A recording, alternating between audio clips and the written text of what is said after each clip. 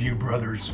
Welcome to our 2024 and 2025 Men's Bible teach, teaching featuring one of Scripture's great, relevant, and potentially life changing books, the book of the Acts of the Apostles, which for my overview teaching today I'll call Acts. I'm Mike Bodine, a shepherd. In a short time of this overview, my goal is not to do uh, extensive teaching. Your weekly studies ahead will richly bless you in those regards. My goal is that the Lord, the Holy Spirit, will whet your appetite for more of Jesus.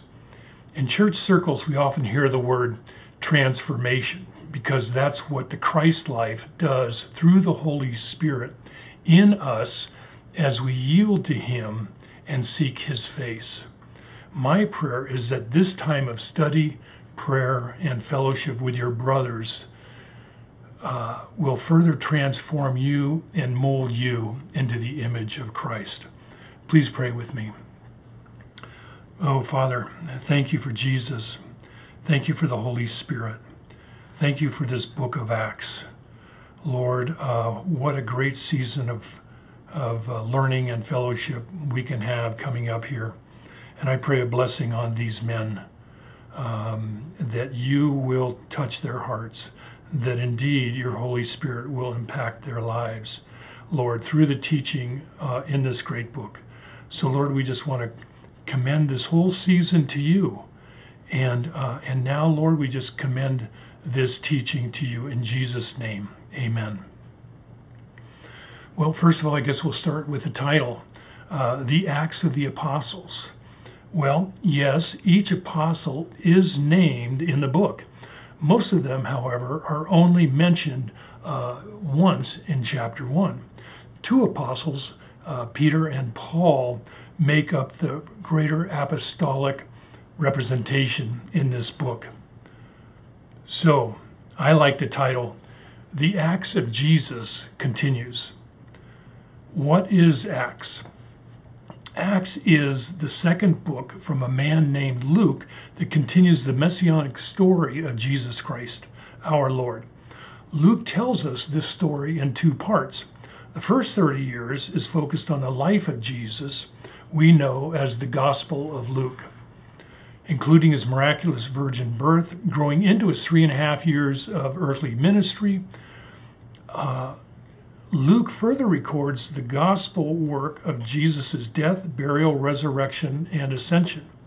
Both Luke and Acts were probably written sometime uh, between uh, 60 and 65 AD.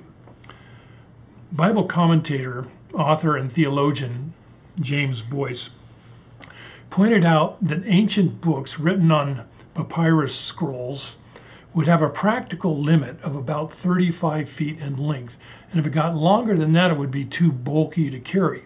He surmised then that Luke used two scrolls to tell his story, hence the Gospel of Luke and, and the book of Acts.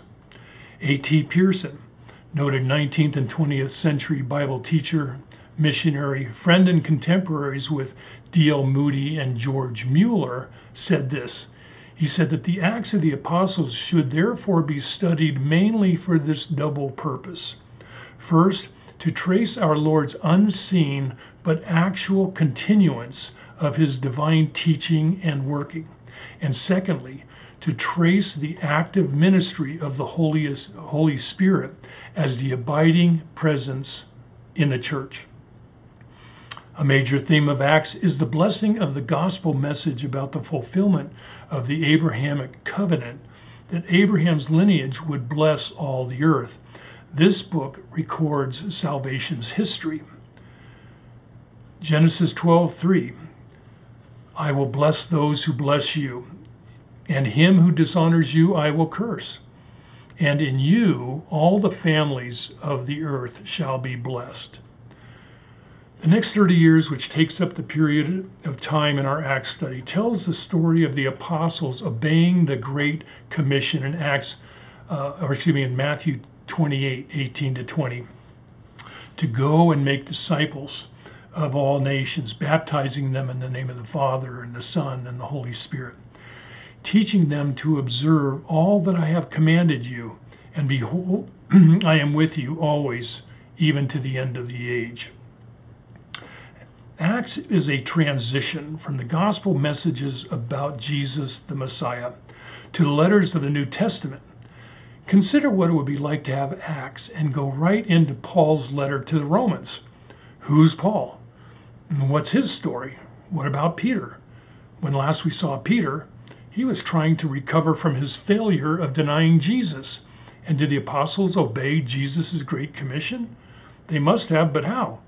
Acts gives us honest answers to those and far more. So, what do we know, know about our author, Luke? Well, he is the only non Jewish writer in the New Testament. He was an historian. W.M. Ramsay, a 19th and 20th century historian, said that Luke should be considered among the greatest historians ever. He is the greatest New Testament writer in terms of volume.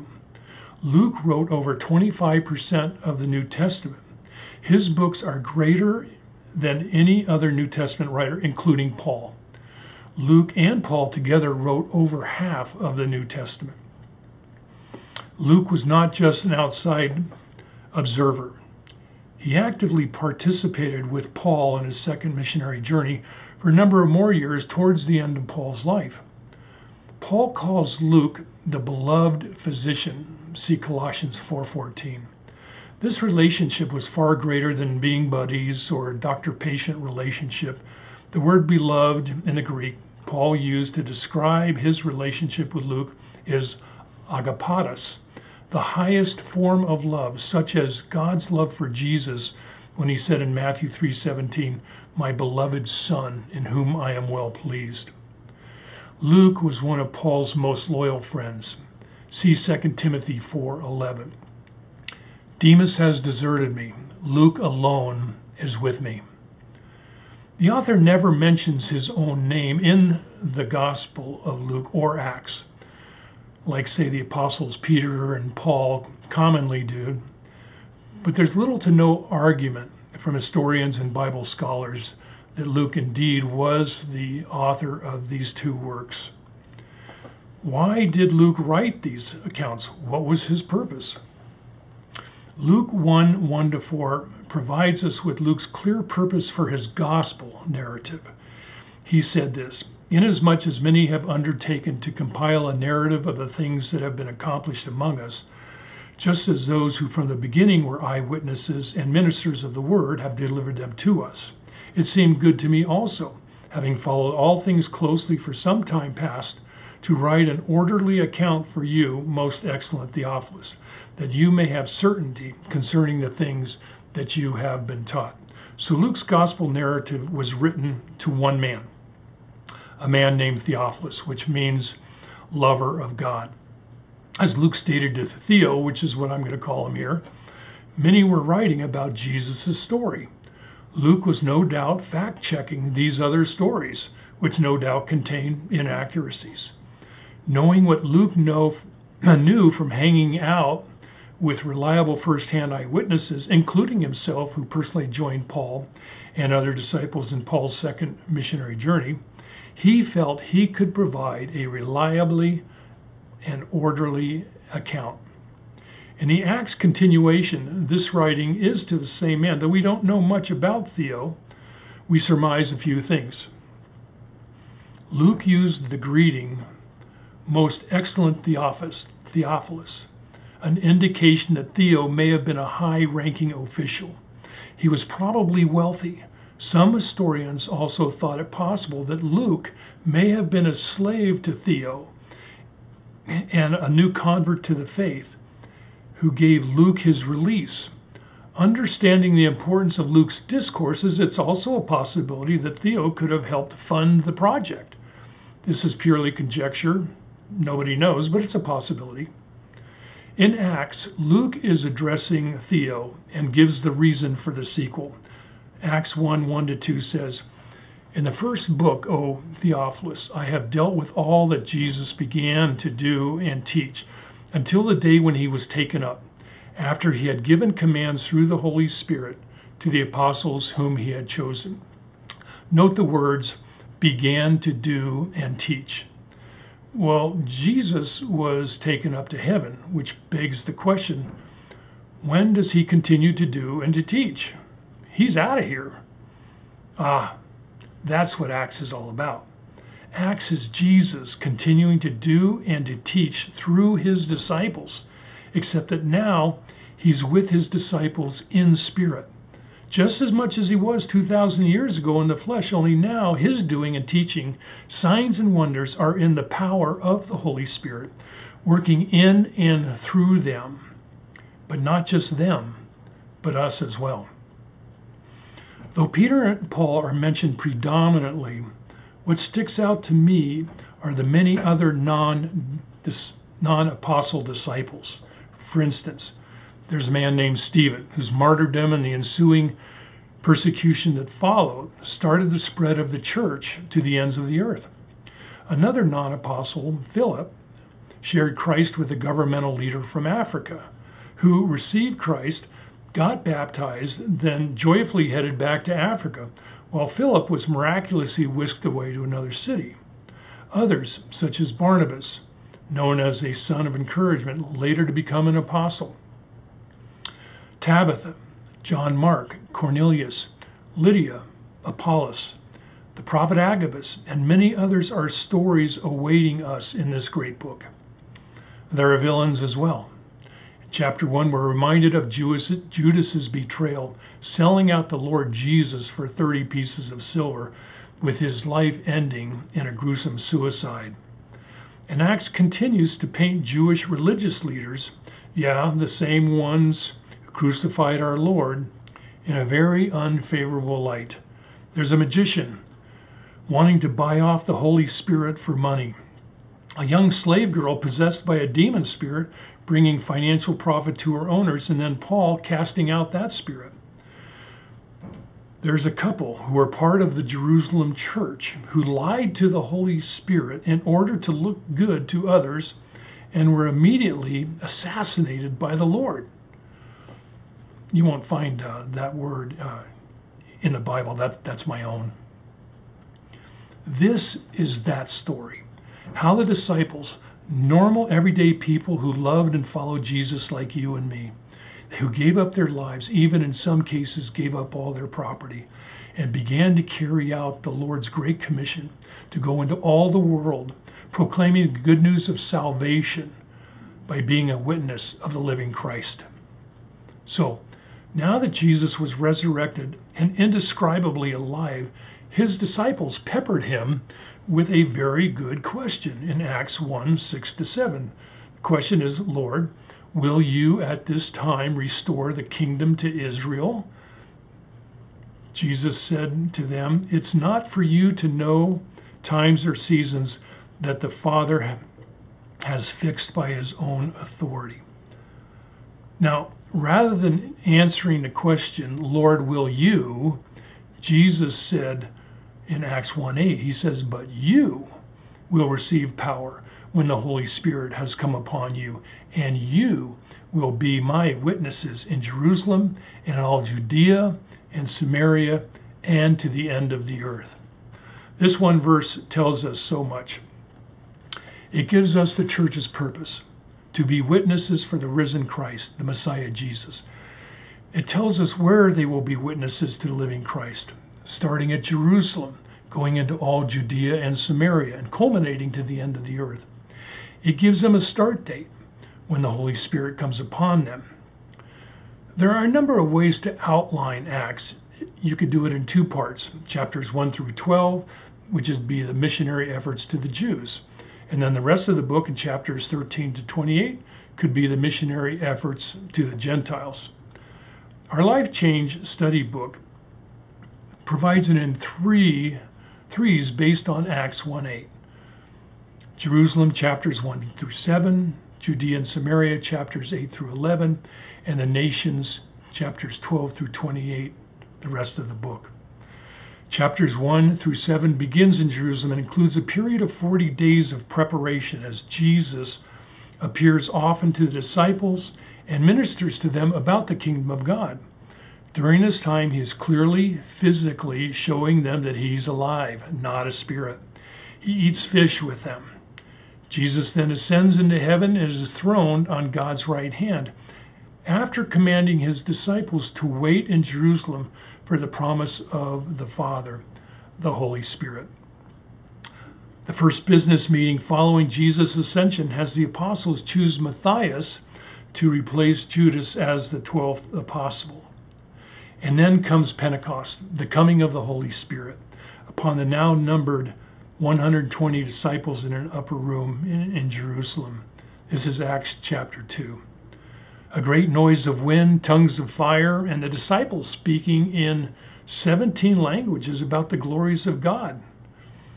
This amazing disturbance causes thousands to hear Peter's first sermon as he explains what they were seeing was the fulfillment of Joel chapter 2, which resulted in 3,000 getting saved. Joel 2:28 says, "And it shall come to pass afterward that I will pour out my spirit on all flesh. Your sons and your daughters shall prophesy, your old men shall dream dreams." Your young men shall see visions, and also on my men servants and on my maidservants. I will pour out my spirit in those days.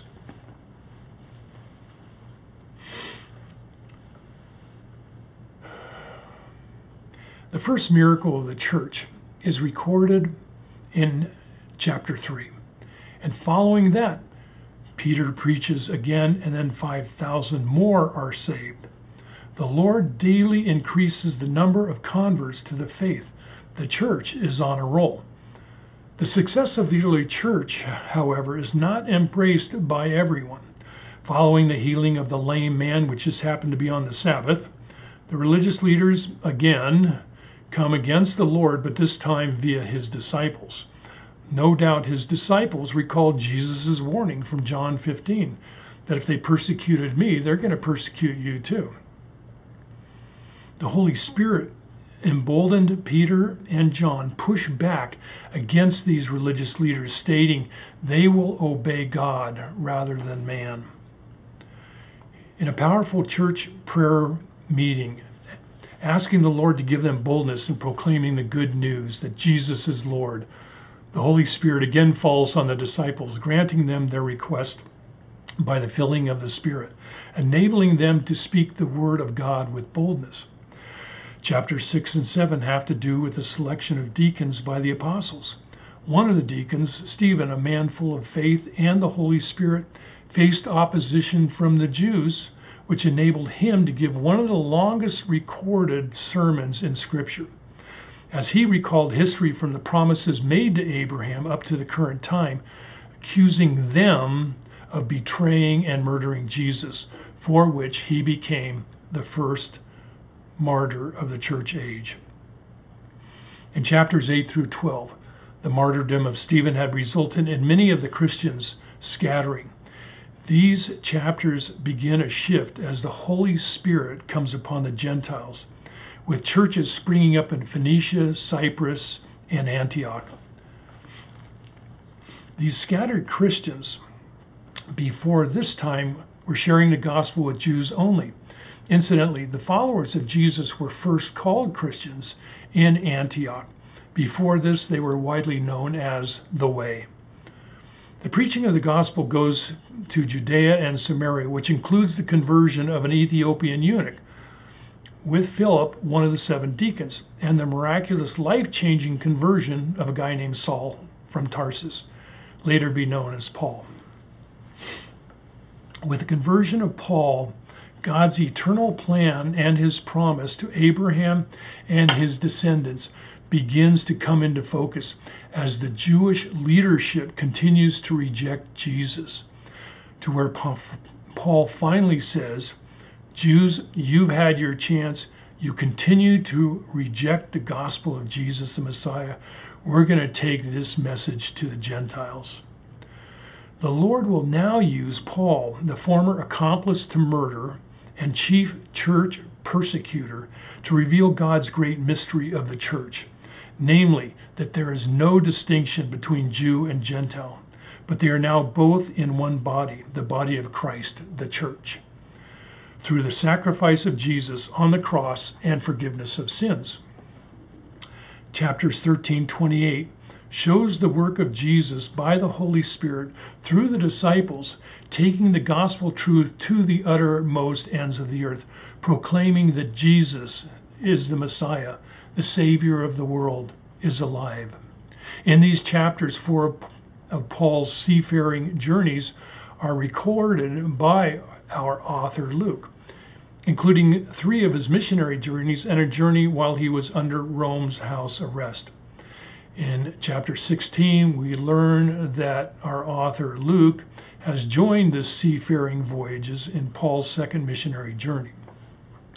In chapter 20, Paul preaches a sermon all night that results in a young listener dozing off and falling out of a three story building, killing him. But God, through Paul, revives the dead man.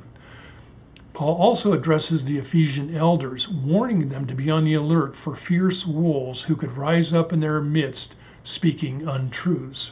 Chapter 21 Paul is arrested on a bogus charge of defiling the temple with a Gentile in the temple, temple court area.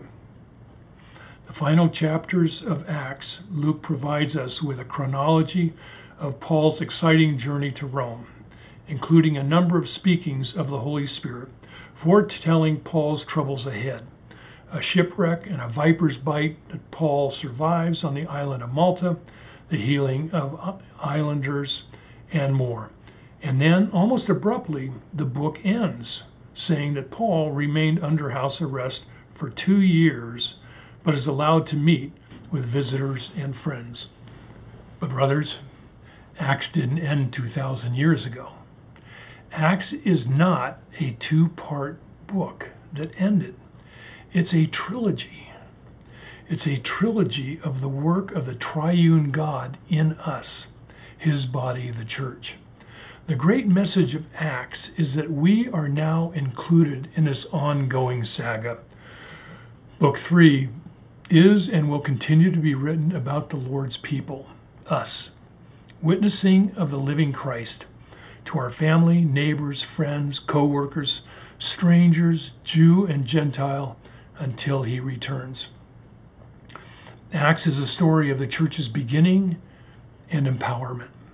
Following the Lord Jesus for those three and a half years, the disciples also had the Holy Spirit who was in Jesus, so also with them. Following the Lord's resurrection, Jesus breathed in into them his spirit. So the disciples now had the spirit of Jesus in them. They become a new creation, never to lose him. This is true of us too. But for the humanly impossible mission before them, that would not be enough. They would need power, which is exactly what Jesus, by the Holy Spirit, gave them that day of Pentecost. But you will receive power when the Holy Spirit comes upon you. Much of the Holy Spirit's ministry is mystery.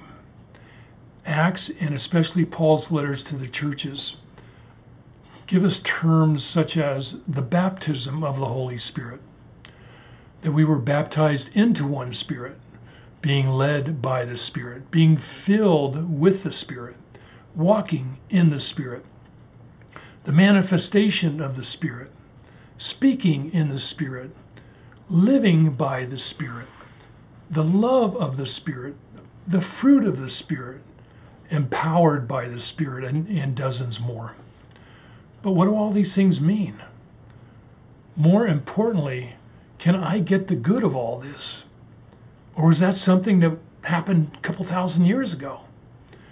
To be honest, the Western church today doesn't much talk about the Holy Spirit, except in some particular uh, churches. When we are miraculously born again, and make, and make no mistake, Salvation is a miracle. I believe that we have received everything of the Spirit, but in our subjective experience of the Christ life, another question arises, an important question, brothers. Does the Holy Spirit have everything of me? Brothers, If He does, your life will change. Have I yield and yielded and surrendered my life completely to the Lord? Which is another way of asking if I have taken up my cross daily to follow Him. Ah, this is where we need power daily. What I have learned personally, experienced, and practiced, especially in these latter years, comes from the book of Ephesians. You know the verse, Ephesians 5:18.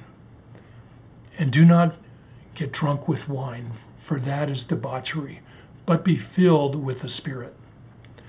In this one verse, Paul gives two commands. Don't get drunk with alcohol, be filled in spirit. We usually focus on that first command, but have you considered that the other, to be filled in spirit, is also a command? To me, that means in both cases, I have a choice. The filling of the Spirit is up to me. How does that work? Jesus tells us in Luke chapter 11, verses 11 to 13. He says, What father among you, if his son asks for a fish, will instead of a fish give him a serpent? Or if he asks for an egg, will give him a scorpion? If you then, who are evil, know how to give good gifts to your children, how much more will the Heavenly Father give the Holy Spirit to those who ask Him? When I am filled in Spirit, I believe I am being led by the Spirit, that I am walking in the Spirit, that I will exhibit the fruit of the Spirit. When I need the right words to speak, the Holy Spirit will at that time give me those words. He has proven that to me over and over. If I need miraculous intervention for something, or in particular, boldness to speak the truth about Jesus, the Holy Spirit will come upon me. You might challenge me on that, but let me remind you of your own experiences that when you shared Jesus with someone before, it seemed like your words were not your words, like an out of body experience. And further, the person that you were sharing Jesus with was glued in attention to you. Well, brother, that wasn't you. Incidentally, the term baptized in the Spirit does not mean speaking in tongues. Though that could happen, it literally means to be immersed in the Spirit. Brothers, a question again. Do you want to be immersed in the Spirit of Jesus? Are you willing to give the Lord the reins of your life? Are you willing for another life to take over your life? Are you willing to release your heart of unforgiveness that you've held on to for years? Or that root of bitterness that's been crushing you? Or that idol of pornography that's destroying you and your family? Or your intentional status seeking? Or your overt wealth building? Or revenge that's eating you alive. Forgive your spouse for the 77th time. If you're willing, the Father is willing. Ask him. Like Luke 11:9, Jesus says, "Ask, seek, knock. He will open the door." But maybe you're not maybe you're honestly not willing. I have good news for you too, brothers. Philippians 2:13 says that it is God who works in you to give you the willingness and the power to do it. Finally, brothers, I encourage you to allow Acts to be a springboard into seeking out our God. The Spirit to discover how today and each day how we can play our part in this great drama of being a witness for Jesus to a terribly lost world. Thank you, brothers. Uh, thanks for taking the time to uh, check this out. May you really be blessed. May you follow the Lord with all you've got. In Jesus' name, amen.